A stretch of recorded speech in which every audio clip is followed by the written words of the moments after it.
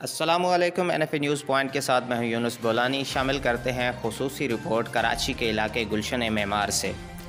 कराची के इलाके गुलशन मेमार में मेरठ कोऑपरेटिव हाउसिंग सोसाइटी के मैनेजिंग बोर्ड के चेयरमैन शाहिद बशीर ने एक play field G A Madani play field का अफ्ताह किया।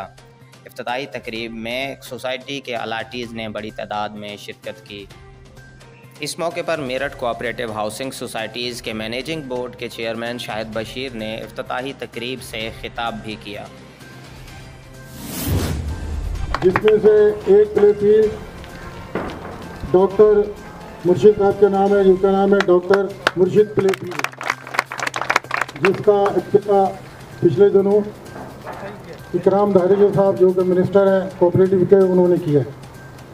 और आज इस दूसरी जो प्ले फील्ड है इसका अफ्ताह मैं कर प्ले फील्ड के अफ्ताह के मौके पर मुल्क कौम और सोसाइटी की तमीर व तरक्की के लिए खसूसी दुआ भी कराई गई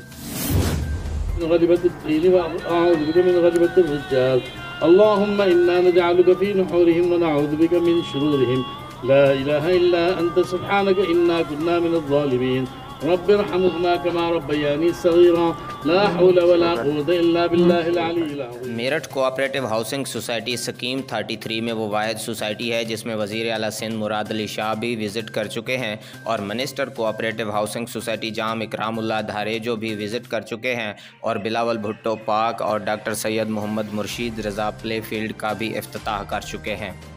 मेरठ सोसाइटी में ना सिर्फ़ पार्क्स का अफ्ताह किया गया है, बल्कि उनकी तजीन आरइश का काम भी तेज़ी से जारी है। मेरठ सोसाइटी ना सिर्फ़ बेहतरीन प्ले फील्ड्स के साथ बाकी सोसाइटियों से आगे है, बल्कि इवेंट मैचेस कराने में भी तमाम सोसाइटियों को पीछे छोड़ चुकी है। गुजशत माबी नूर फाउंडेशन इंटरनेशनल ने मेरठ सोसाइटी में best of three event matches का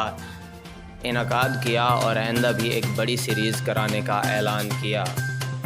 N F I news point से फ़िलहाल इतना ही, मज़ीद ख़बरों और उनकी अपडेट्स के लिए देखते रहिए N F I news point